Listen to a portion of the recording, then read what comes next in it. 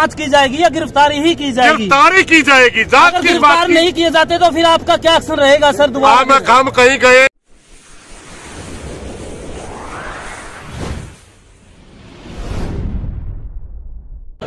जी आपकी तरफ़ से एक डेलीगेशन गया था सरकार के प्रशासन से बात करने के लिए। क्या फैसला रहा जी जो हमारा प्रतिनिधिमंडल गया था जो हम पाँच दिन से यहाँ धरना पे बैठे हुए थे हमारी कुछ मांगे थी। प्रशासन ढीठ बनाया हुआ था। उन्होंने सोचा था इस समाज ने झुकाया जा लेकिन इस समाज में बड़ा दम है। हमने पहले ही बड़ी बड़ी सरकारों को झुकाया है। आज फिर हमने सरकार को झुकाया है और जो अपनी मांग थी वो सारी मनवा दी। तो क्या क्या जो मांगे थी क्या क्या सरकार ने मांग ली? देखिए जो भी हमारी मांगे थी चाहे कर्मचारियों का मुकदमे दर्ज करके गिरफ्तारी की बात हो चाहे उस बच्चे की एजुकेशन की बात हो चाहे कंपनसेशन की बात हो चाहे जो छेड़छाड़ का मामला महिलाओं पर था उन कर्मचारियों पर उन पर मुकदमे दर्ज करने की बात हो जो भी समाज की खास पंचायतों की मांग थी वो सारी मांग मान ली। और जो उनने गाँव वाले पर मुकदमे दर्ज करे थे वो भी वापिस होंगे यानी इस समाज की जीत हुई है। इसलिए जो हमारा रेलवे ट्रैक जाम करने का निर्णय था वो हमने वापस ले लिया। तो सुरेश जी आगे भविष्य में भी प्रकार की घटनाएँ जो देखने को मिलेगी उनको लेकर क्या रणनीति आगे की रहेगी? देखिए हम सरकार को खुले रूप से कहना चाहते हैं। सरकार संवेदनशील बने, अपने तानाशाही रवैया छोड़े, इस तरह सिस्टम के द्वारा दबाव बढ़ा करके हमारे भाइयों को तंग ना करे, उनको, उनकी हत्या ना करे।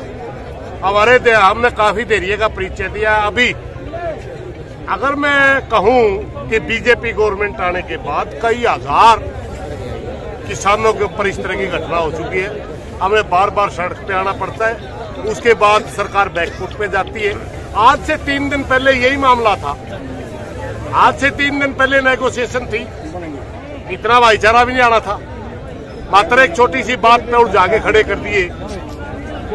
हमारा सीधा सा मानना है कि जब नियत होती है, तब इस मुद्दे हल होते क्योंकि दुनिया में ऐसी कोई समस्या नहीं है जिसका बातचीत से हल ना हो। आप अगर कानून के दायरे से बाहर जा करके आप किसी के साथ ज़बरदस्ती करोगे, आपको भुगतना पड़ेगा। मीटर बाहर लगा हुआ है। अंदर क्या करने गए थे आप? अपना खुद के बचाव के लिए आदमी एग्रेसिव भी होगा। मैं कई घटनाएँ हरियाणा प्रदेश में वो बता दे, बता सकता हूँ, जिसमें आदमी पीछे, आदमी को मारने के लिए पीछे भाजा अपना घर चला गया। वहाँ जाने के बाद वो आदमी उसे आदमी ने मार दिया, अपने बचाव में। हत्या भी 302 जैसे मामले भी बरी होते हैं अपने बचाव में। अपने बचाव में आकर के अगर गाँव वालों ने कोई उनके साथ थोड़ी बहुत गाड़ी गलोच वगैरह भी कर दी, उसके ऊपर तो पर्चा दर्ज कर दिया।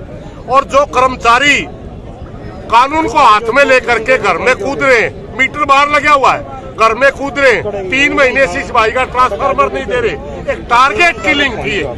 अगर इसको देखा जाए, ये टारगेट किलिंग थी।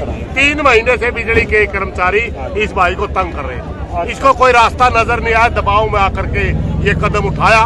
वैसे मैं पूरे प्रदेश के किसानों से हाथ जोड़ करके एक प्रार्थना करना चाहूँगा।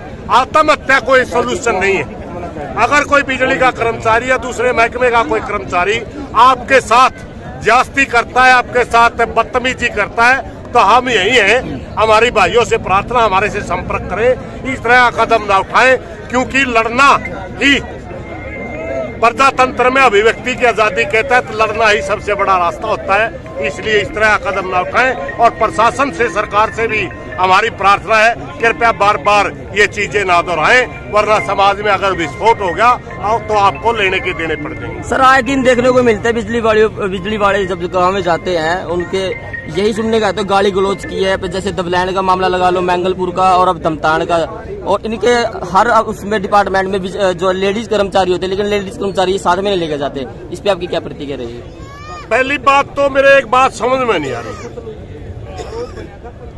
यहाँ की जो घटना है, यहाँ वो छापे मारते, पहले कहते बीस, आपको तीस हज़ार रुपये जुर्माना कर दिया। और फिर कोई कर्मचारी पाँच या चार हज़ार रुपये की रिश्वत लेके, और उसको कहता, तेरा मामला हल हो गया। सबसे पहले तो मैं सरकार को बताने देना चाहता हूँ, ये सारे दो नंबर का काम कर रहे हैं। अगर कोई जायज़ चोर है तो उसका जुर्माना तीस हज़ार हुआ था पाँच हज़ार में कैसे छोड़ सकते हैं? ये सारे जो घटनाएँ कर रहे हैं, बिल्कुल नाजायज है। रही बात लेडीज़ कर्मचारी की उसकी। आप कानून जब तोड़ोगे तो जनता में एग्रेसिव आएगा। लेडीज़ के साथ आप बदतमीजी करते हो।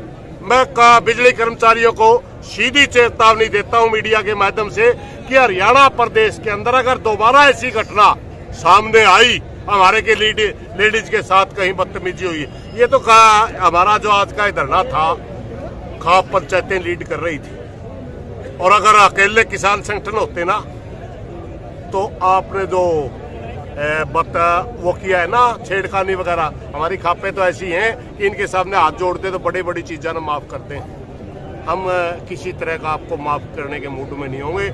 मेरी प्रार्थना है, घर में लुगाई छोरी तारे भी है। अपनी छाती पर हाथ रख के देखो। दूसरा घर जब का कूदो।